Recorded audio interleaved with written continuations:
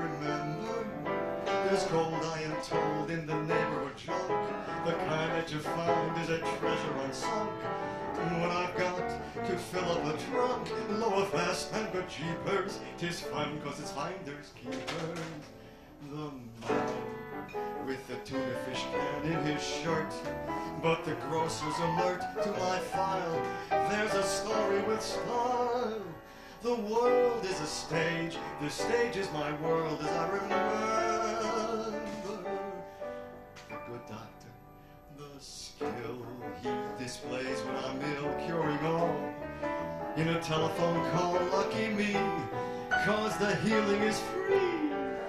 And I remember my ex and the glow of her skin, white as snow in those eyes that could love or despise. The plot, that damn plot, was to have and have not. Must I remember the name of this game is to have us some fun, to schmooze and enthuse till the game is all done. Friends, not yet, but the show's just begun. At the end, ah, we'll be friends. Sorry, the drinks ain't free, friends. New York, it's a hell of a town, lifts you up, and it won't let you down. It's the place with a fabulous face. Welcome to Don't Tell Mama. You didn't tell her, did you? Anyway, it's good to see your smiling faces, and we're going to try to keep them that way. Might be a tear or two, but why don't you just sit back and relax and enjoy the show?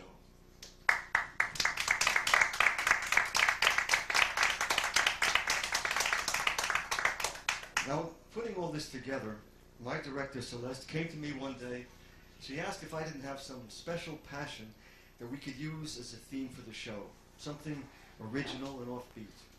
Well, I kicked it around for a while, and then I remembered an article that I'd come across in Newsweek magazine some years before that listed America's 10 favorite passions. It was the result of some kind of national survey. Now, what do you think was number one on that list? That's what I thought. No, believe it or not, it was eating. Listen, it makes sense, you know. Sex, sex and eating, they're quite similar. I mean, sometimes interchangeable. But we spend a lot more time eating. I mean, how many, how many of you have sex three times a day? Every day? Terrific. Anyway, what do you think was number two on this list? Anybody? TV? It's not bad. No, it was, believe it or not, it was working. Which also makes sense because you have achievement, you have success, and you have money, which helps you to enjoy all the other passions. Now, number three, of course, was sex, which would make it near the top of any list because it's so much fun. Now, looking back at this list, I must tell you that my favorite passion wasn't there. I mean, talking was not on this list. Though I love to talk. Ask my friends. On second thought, don't ask me. I got it from my mother. Boy, could she talk. My father, on the other hand, was quiet as a clam. Mean, Mama used to call him Silent Yokum. Remember that Li'l Abner character? I mean, together we made a professional listener out of him. but the poor guy didn't stand a chance. You know, my talking had a curious effect on my father. It made him sleepy. The more I talked, the sleepier he got. Got a good night, I could put him under in less than a minute. anyway, we had here a theme for the show, not terribly original or offbeat as it was. It needed something to hang it on, a hook. Of course, that's easy because talking is just a vehicle. The real passion is collecting anecdotes and then sharing them. And for that, I seem to have a knack, so I've been told. It's sort of like walking around with a camcorder in your head, and you want to share a special moment, you just rewind and play back. Now, since cabaret is a sharing experience, why don't we do that right now? Why don't we rewind and play back some of these special moments that I remember? But first, one more time, one more chorus to rhyme, one more thing. Let me shout as I sing, hip hooray! Ah, what else can I say? But these tales must be told, yes, all will unfold as I remember.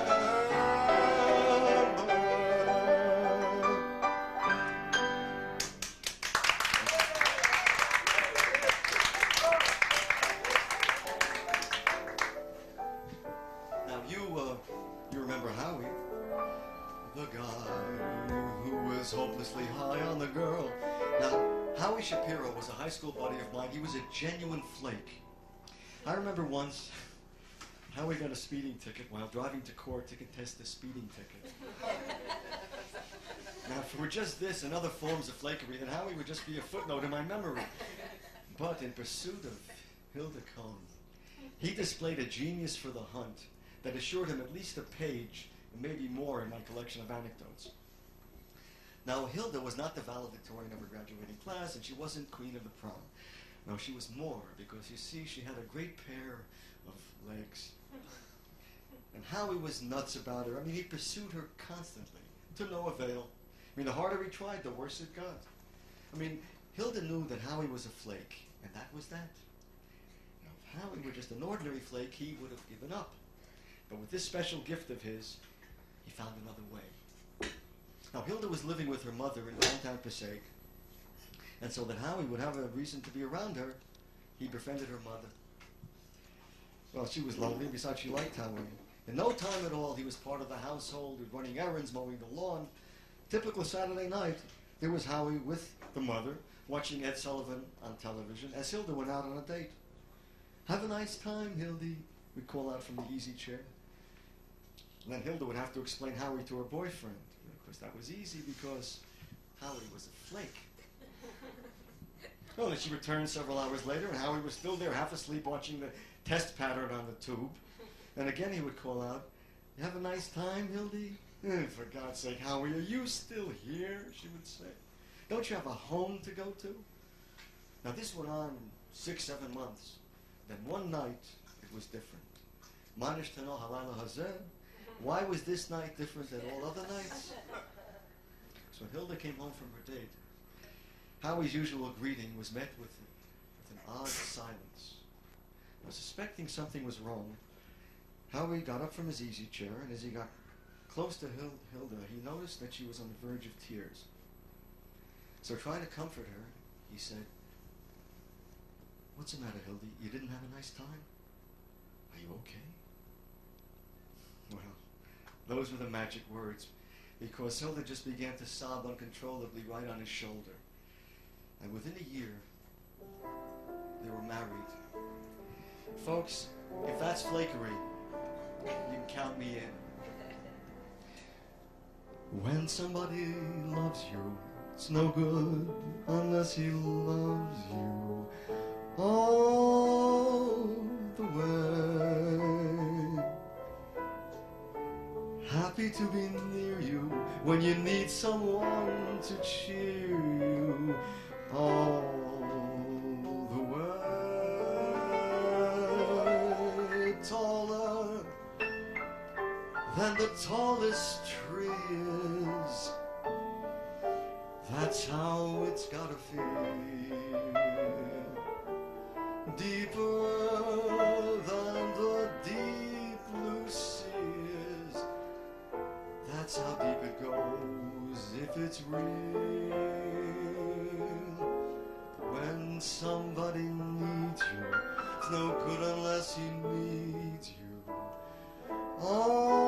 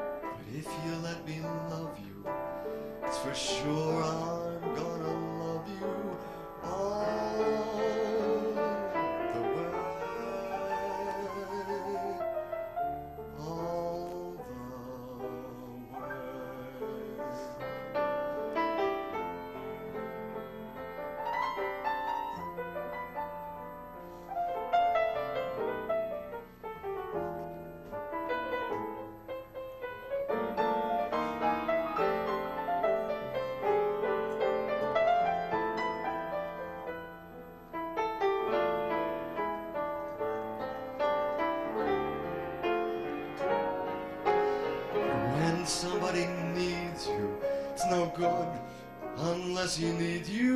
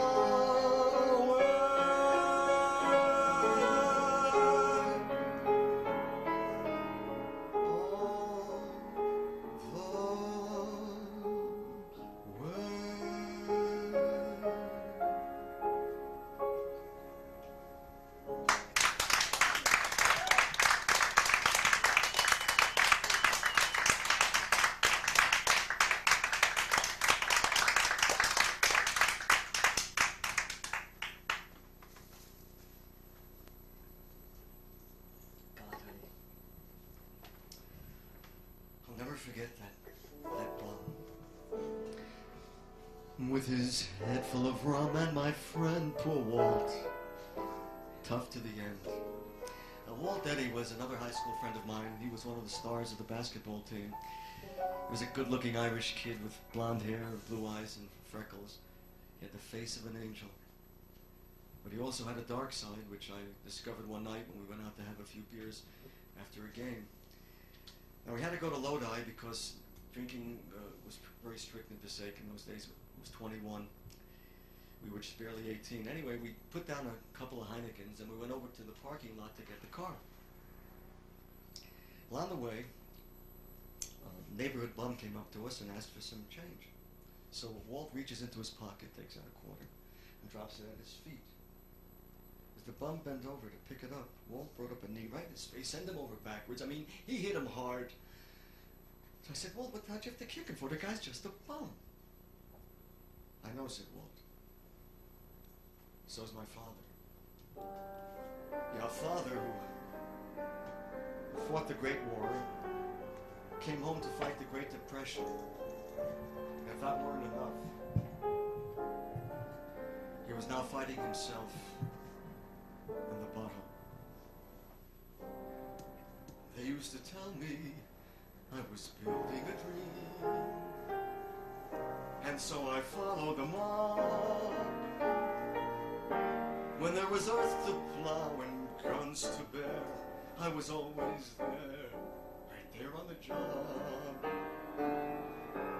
They used to tell me I was building a dream of peace and glory ahead. So I should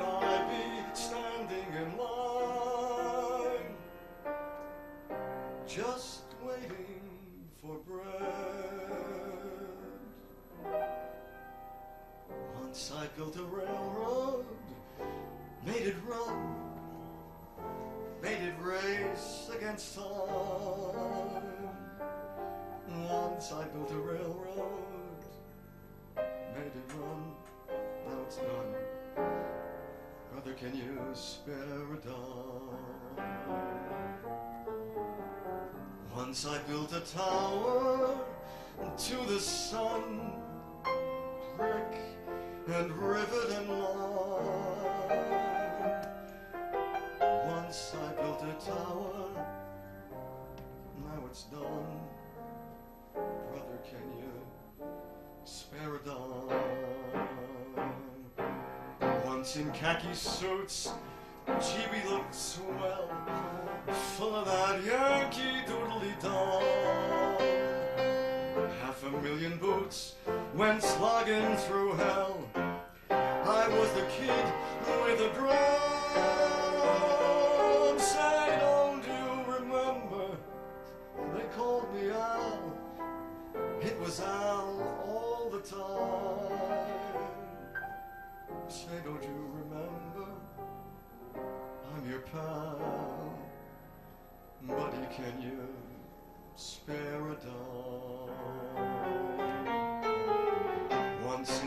Suits, She looked swell, full of that Yankee doodly dum. Half a million boots went slugging through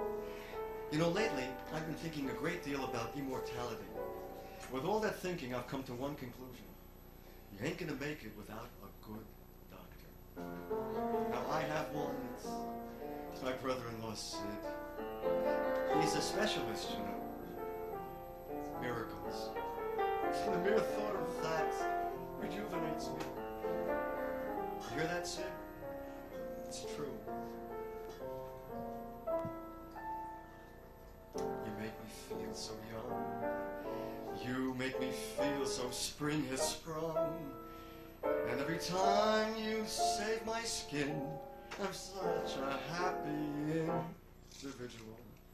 The moment that you speak, I want to go play hide and seek. I want to go and bounce the moon just like a toy balloon. Mm, and it's free. No tests, no x-rays, no shots. If you need me, check the meadow. I'll be picking up lots of forget-me-nots. You make me feel so young. You make me feel there are songs to be sung, bells to be rung, wonderful fling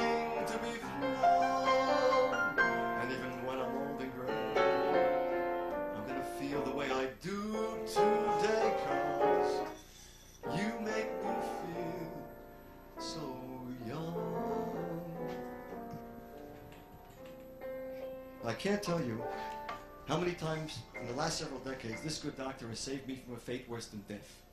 What's worse than death? Worry.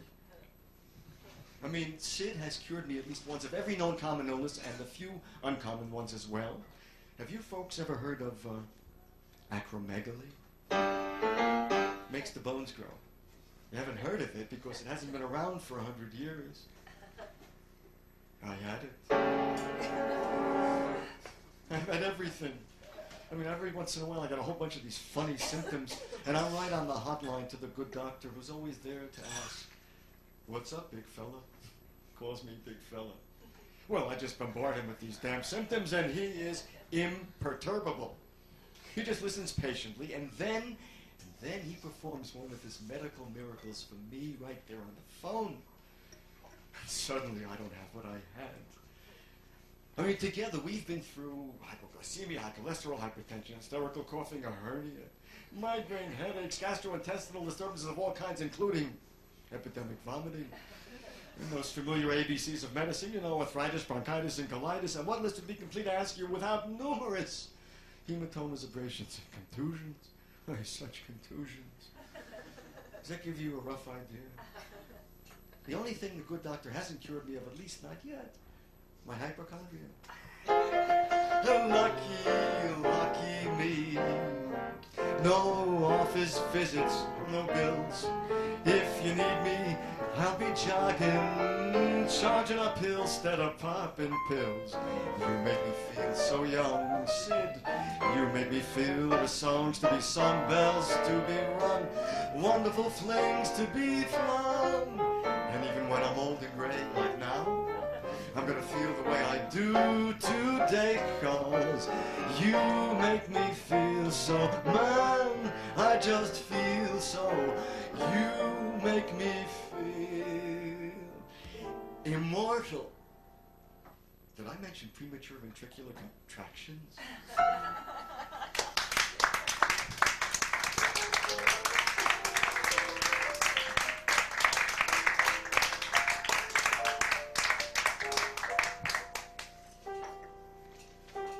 Gold, I'm told, in the neighborhood junk. The kind that you find is a treasure unsunk. New York is a great, big, bountiful city. It gives a lot. It also takes a lot. But it mostly giveth, and I mostly taketh. Of course, we're talking about that great tossed and found out there. That unsunk treasure, and it's all finders, keepers, losers, weepers. Which brings out the piter to me, as you can see, mateys. Like that Sunday afternoon, I was cruising over to Zabar's, keeping me eye peeled on the horizon, when I noticed a small cardboard box in the front stoop of a brownstone. Something shiny inside caught my eye through a wee crack in the top. So I walked over to the box and I flipped it open. Lo, vast and bejeepers! It was full of kitchen utensils. It was a, it was a juice king that caught my eye, you know, for squeezing oranges. It's good against scurvy. And there was a Waring blender and a potato masher, and it's all finders keepers, but I couldn't keep it. I felt guilty. It's obviously belonged to somebody. What to do? Well, I decided I'd play a long shot. I would go over to Zabar's and do my thing. When I came back, if that box was still there, would just claim it by the law of the sea. So I took the top, I closed it. It wouldn't shine anymore, and then I pushed it off to the side a little bit. And off I went to Zabar's to get me some loxes and bagels. But when I returned, about three quarters of an hour later, by jeepers, it was still there.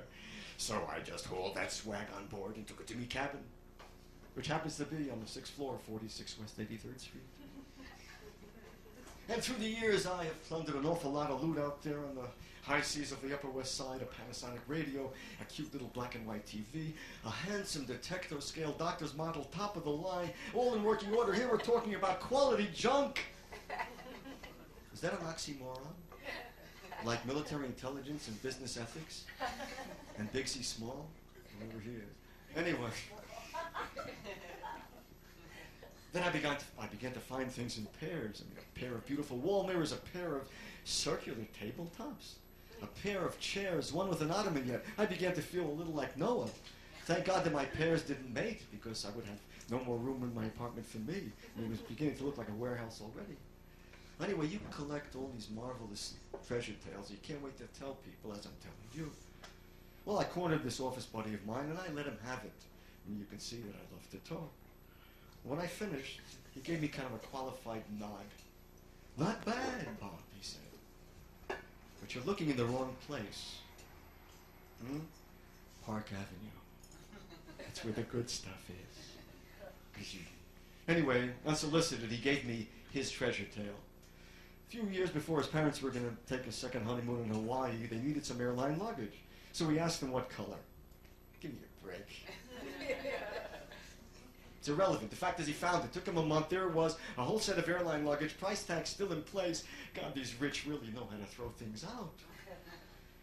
Now, I'm no longer in the junk business. As I told you, there's no more room in my apartment. so- But if I ever come out of retirement, I'll certainly know where to, where to look. I'll just join my friend, who I hear is presently looking for a Steinway. Anyway, I've saved my best find for last. Doesn't involve an object, but rather a person. I should say two persons who found themselves right here on the streets of New York. I was resting comfortably face down in the gutter. Life was serene. I knew where I was at. There's no hope for him, my dearest friends would mutter, some friends. I was something dragged in by the cat when just in time. I found you just in time before you came. My time was running low. I was lost. The losing dice were tossed.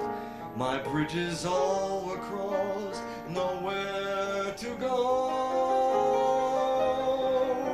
Now you're here. And now I know just where I'm going. No more doubt or fear. On my way. For love came just in time. You found me just in time and changed my lonely life that lovely day. She changed my lonely life that lovely day.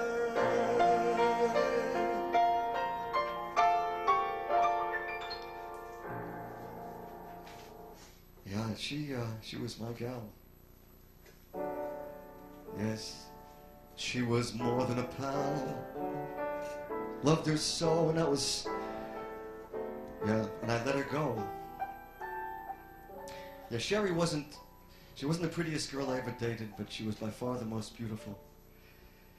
Yeah, I was studying acting at the time. We had been going together about five years, and we were very much in love. And then I got a chance to do some summer stock up in Williamstown Playhouse in Maine. So I figured it was time to break it off. We were in our 30s. Sherry wanted to get married.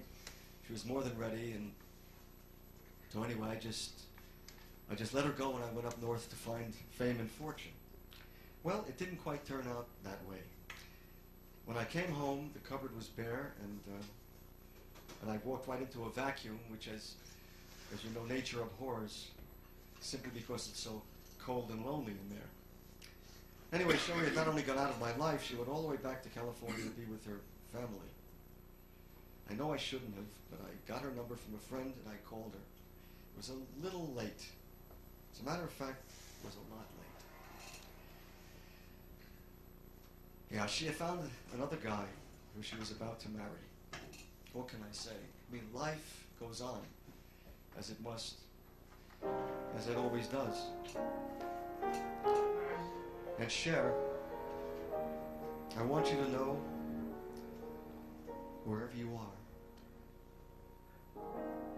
get along without you very well.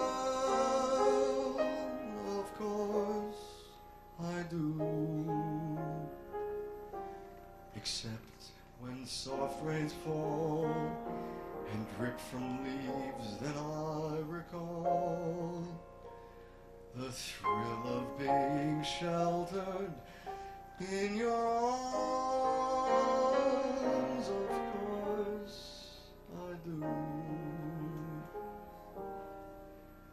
But I get along without you very well. I've forgotten you just like I should.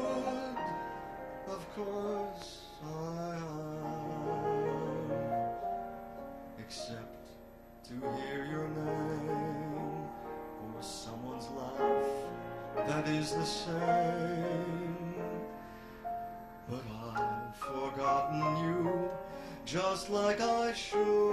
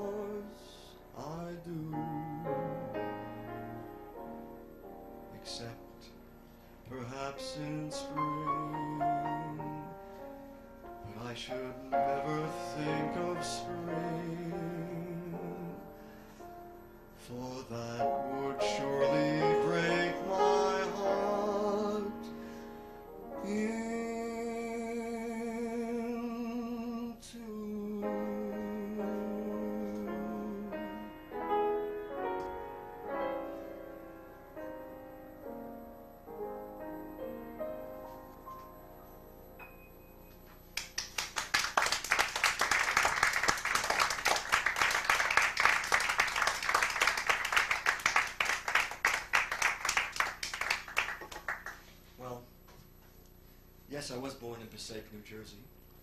And some, a whole bunch of years before that, there was a guy born in a little town about 16 miles northeast or southeast of Passaic, New Jersey. A guy, hmm, with a voice that could fly, filled my dream. To sing was its theme, now it's real. Cause I sing what I feel. December 43, and Frank Sinatra exploded at the scene in 19 with such force that the ver- reverberation can still be heard 50 years later in an 80 year old guy who was still doing it last year. Boy, could he sing. I mean, he personalized every lyric, every song. You thought he was singing just to you. And charmed the whole world, this skinny kid from Hoboken. Because I memorized everything that he had recorded up till then. Why not? I was a kid. Had all the time in the world. The remarkable thing is that I still have most of it here. And here. The leaves began to fade like promises we made. How could a love that seemed so right go wrong? The things we did last summer,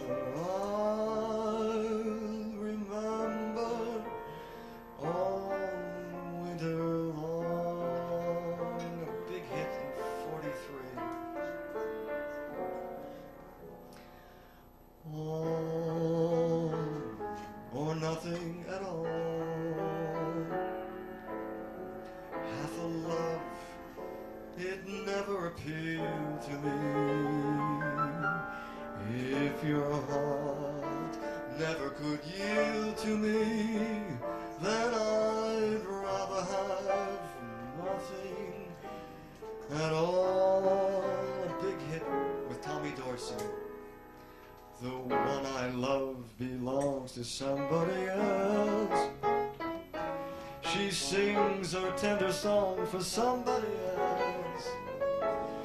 And even when I put my arms around her, I know her thoughts are strong for somebody else. The GIs love this one. Saturday night is the loneliest night in the week. Cause that, that's the night that my sweetie and I used to dance cheek to cheek Until I see her at the door she's in my arms once more. Saturday night is the loneliest night in the week. This would have been screaming at the Paramount No need to tell me now What makes the world go round. Cause at the sight of you, my heart begins to pound and pound. Oh, Frankie, your goodbye left me with eyes that cry. How can I go on, dear, without you? You took the part that used to be my heart,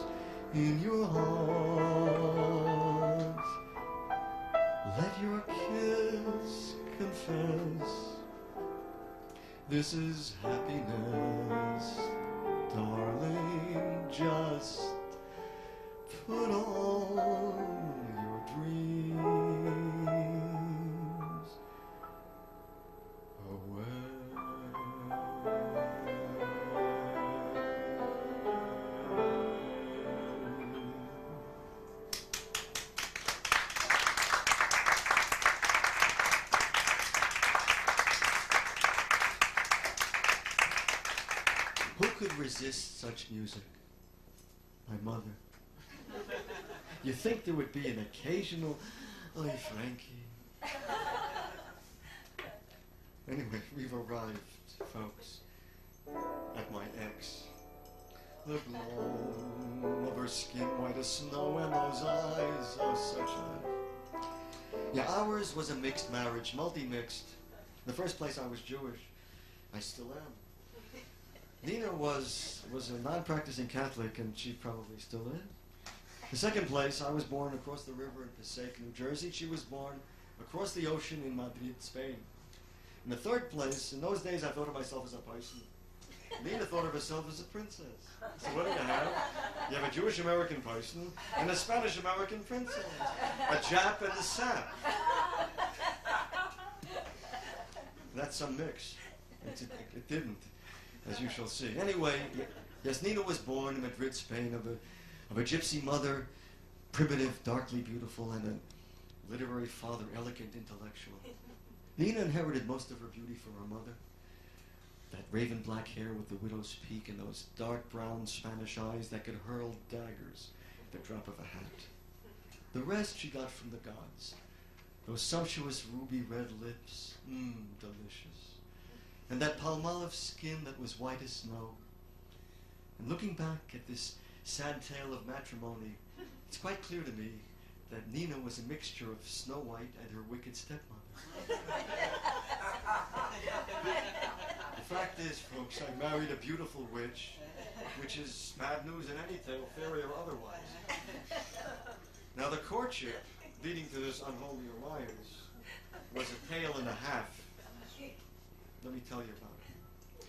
We met at Columbia University School of Architecture, and it was a mismatch from the start. What the hell was the son of a Jewish furrier doing with the princess daughter of a Spanish nobleman? I mean, it wasn't even close.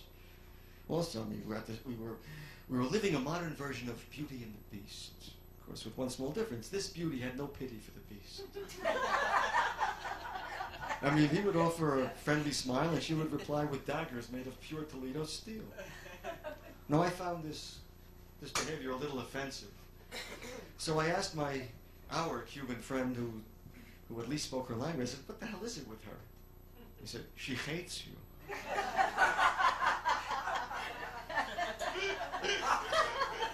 I wish that weren't true.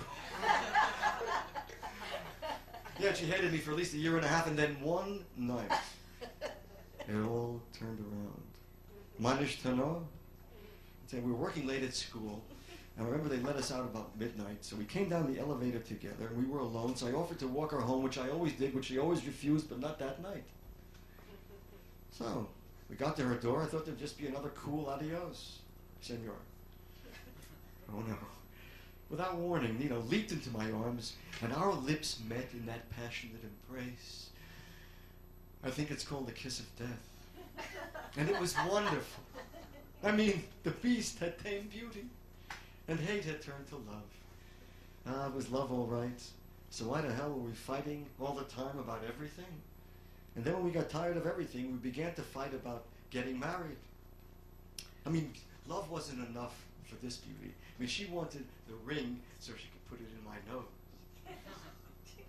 We fought about that for a year and a half, and then one afternoon, right near school, I remember like it was yesterday, it all changed again.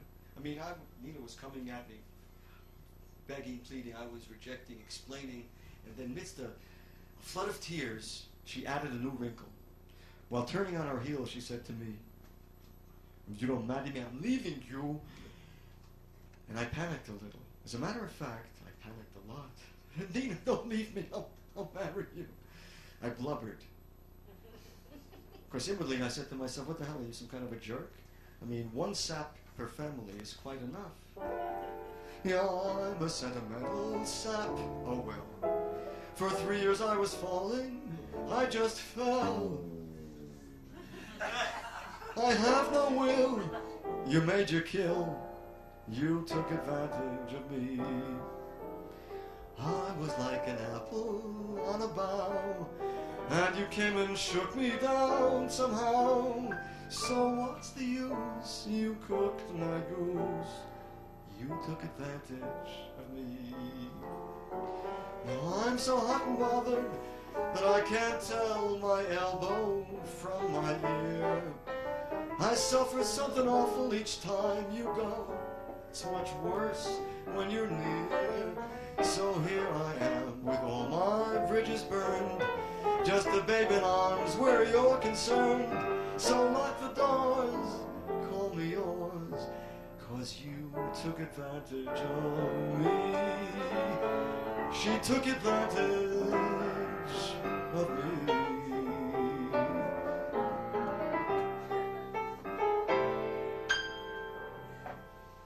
And she kept taking advantage until a month before we got married. Well, she brought home a buddy from the office, a nice guy. I liked him. Terrific supper. My last supper. Little did I know I was breaking bread with my replacement. But all was not lost. You see, I had a shrink, and my shrink had a plan. Herr Garber, he postulated, you must leave Nina with a positive image. If there's no romance of her small toes, she will come back as this image. I guarantee. Because if she doesn't, you can't hold me responsible. Jawohl, Herr Doctor. But what image, what positive image should I leave her with? Nice guy? Finish last. What did Nina hate most in this world? Weakness. So I would give her a little, I would give her a tough guy, a little bogey. And what did she love most in this world? She loved the arts. So I put together a little scenario that would be a masterpiece. Nothing but the best for my little Spanish American princess. Well, it took me about a week, and I got it all together, and I got her on the phone. Nina, just be downstairs in half an hour. I want to talk to you.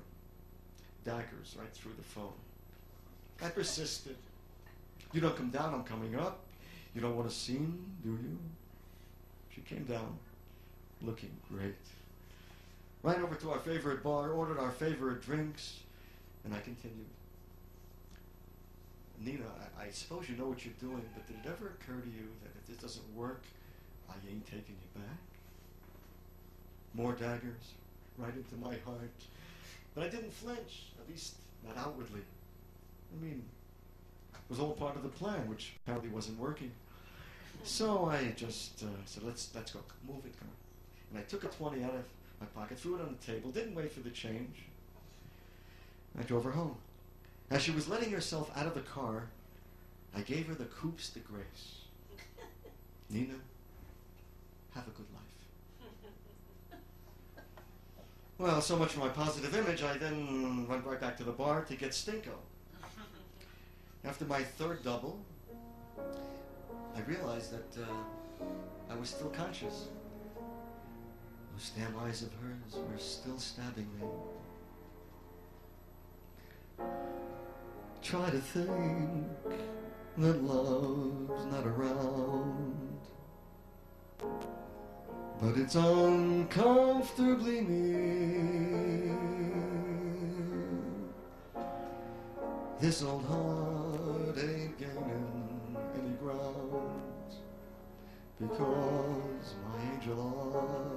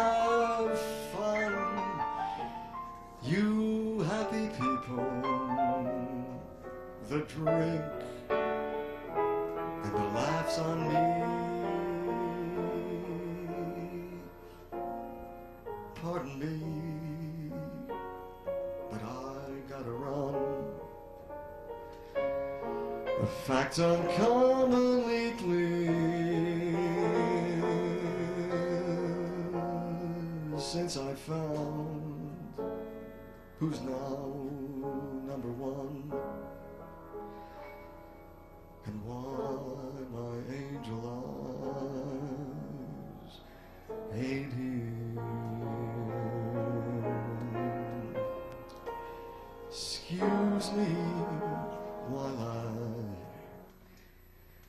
disappear.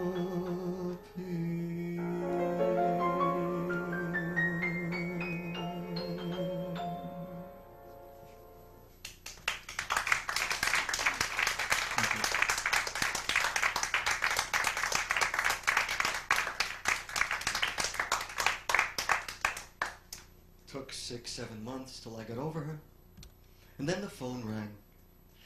How did My shrink really knew his stuff. That night, between ecstasy, Nina told me what it was that brought her back. It was have a good life that did it. Damn it. Anyway, let me take you to a happier place. How about New York? It's a hell of a town, picture up. And it won't let you down. It's the place. It's the place. It's the Big Apple. It's Passion City. It's downtown USA, or simply put, it's simply New York, New York. Would you believe that beneath the rough exterior beats a heart of gold? If you're open to it, and as I was one warm summer night when I went jogging in the rain. Now, I like to think of myself as a, as a professional jogger. We were talking here about 20 some odd marathons spread over 15 years, maybe at least 40 miles a week. That's at least uh, what you call a uh, semi pro. But let me tell you that most of those miles are a blur. But not that warm summer night. Oh no. Now, I came home from work and it was pouring. I mean, hard. So I went upstairs to change. I mean, what's the problem here? I mean, uh, I felt like a postman. I mean, neither rain nor sleet nor snow nor gloom of night would stay this courier from his appointed jog. So I suited up and I went down to do my six counterclockwise miles. Well, as I entered the park at 81st and Central Park West, I realized I was in the middle of a monsoon.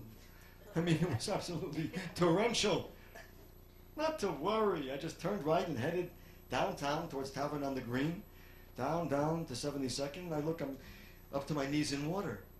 And there's no way on this earth that I'm going to wade for six miles, counterclockwise or otherwise.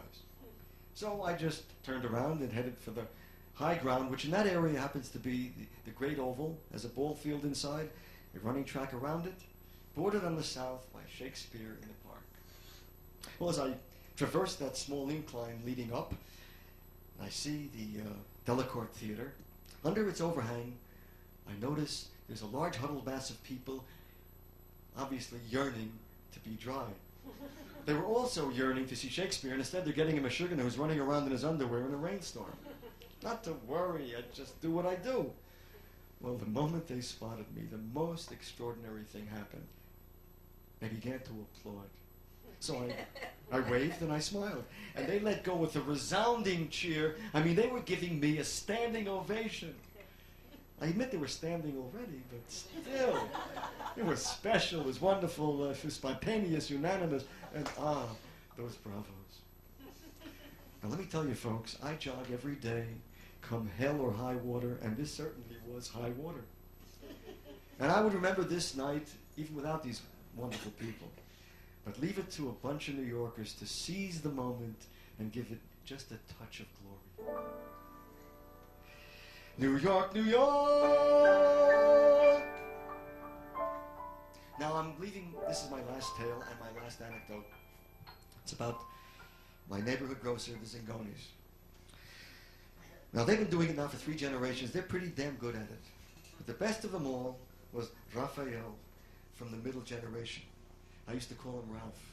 I'm using the past tense because Ralph died 25 years ago, give or take, and he was some kind of guy. He took with him a wonderful gift. He made you feel good. Yeah, I would come back from jogging every day, go to Zingone, pick up something for the table. And there was Ralph busily polishing the fruits and vegetables with his apron. And he would always give me a hearty, hey, Bobby. And we would go at it. I mean, rapping all over the place.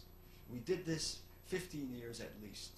And one afternoon was a little different. While we were talking, a, small shoplift was taking place. And here I am, I'm going at it full tilt. I love to talk, as you can see. And right in mid sentence, Ralph gives me one of these. So I look right through the bread case, and there is a young, a young man is pocketing a can of bumblebee tuna. Well, I got a little nervous. I figured, you know, this is going to be a confrontation, at least. Well, before it got out of hand, Ralph gave me another high sign and headed for the register. As the young man was about to leave. Well, s- noticing Ralph, he realized he'd better buy something or it's going to look a little suspicious. So he went over to the counter, picked out a Drake's cake. As a matter of fact, it was a devil dog. And he gives Ralph a quarter. Ralph says, uh, it's a dollar forty-four. He says, what are you kidding? Dollar forty-four for a devil dog? You're kidding? I said, no, I'm not kidding. No, the cake is a quarter, but the bumblebee tuna in your shirt is a dollar nineteen, and together it's a dollar forty-four. That was Ralph was some savvy New York grocer with style. Are any of the Zingones here tonight, by the way? No? New York, New York! It's a hell of a town! Anyway, thank you. Look, I want to give a lot of, I want to give a whole bunch of uh, thank yous here before we leave. I want to thank the young ladies who've been serving you so, so nicely all night long. And I want to thank, I want to thank uh, the, um, the booking agent here at Don't Tell Mama, Sidney Myer. I don't know if Sidney's here, but Sidney is, uh, is a real mensch. And I want to thank the young lady over there in the booth who's doing the lighting and the sound so beautifully, Ann Scobie. And I, I, I, I must say that, that uh, the next thank you goes to Cel- Celeste, who uh, I don't think, she's here tonight. She's not feeling well. But anyway, this show is her idea. Make no mistake about it. Without her, I would just be singing a bunch of songs stringed together. So I want to thank my director, my mentor, and my dear friend, Celeste Simone. And up here on stage, making all this beautiful music, on bass, Ken Rizzo. And with all 88s under control, playing so beautifully, Art Weiss, the piano. And last but not least, I want to thank you people for coming and for sharing with me these special moments that I remember so well. One last time, one last chorus to rhyme, one last thing. Let me shout as I sing hip hooray. What else can I say? But these tales have been told. I hope you had fun and I remember.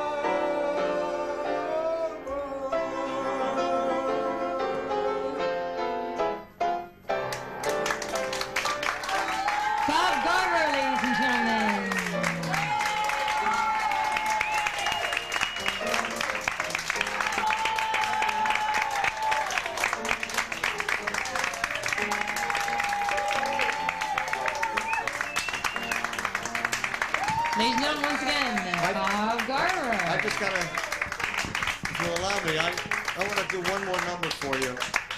Partly because I just really want to do it, but also we rehearsed it a little. Anyway, you may argue about this being an anecdote, but it's, it's a little fanciful. But let me tell you what in life these days isn't. Anyway, we, we all have an alter ego, is it not so? I mean, the movies gave us Walter Mitty. He had five of them. For literature, we got uh, Dr. Jekyll. Mr. Hyde, though inside, was a fellow to fear. Every time, what a show every time he'd appear. Now mine's just an old out the cocker, and we're simply so symbiotic. Frankly, he's quite neurotic. Now, he contemplates much too much. And lately he, he's been into falling in love and what you get for it.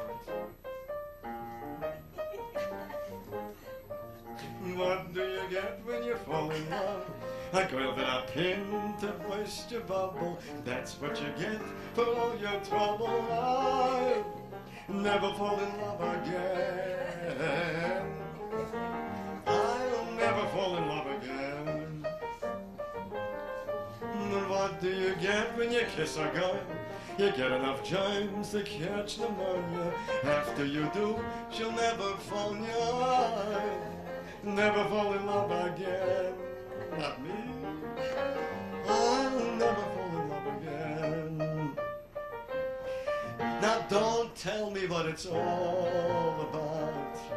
Cause I've been there and I'm glad I'm out. Now those chains, those chains that bind you.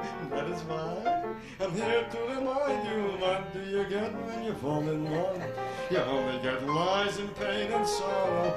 So for at least until tomorrow, never fall in love again. Forget it. I'll never fall in love again.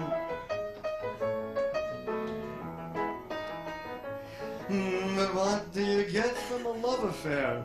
You get to abstain, cause that's the fashion. If that's what you get for all your passion, who, wants to fall in love again? Would you? I'll never fall in love again.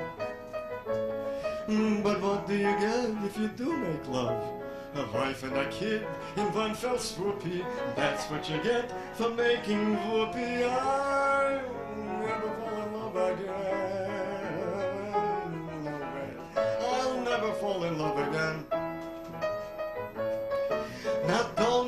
Don't tempt me cause it's too complex. Just give me porno and cyber sex. Dirty pictures never hurt you. That is why I'm here to alert you. What do you get when you fall in love? You only get Mishegas and. So this is it. My final call is I'll never fall in love again. Forget it. I'll never, never, never fall in love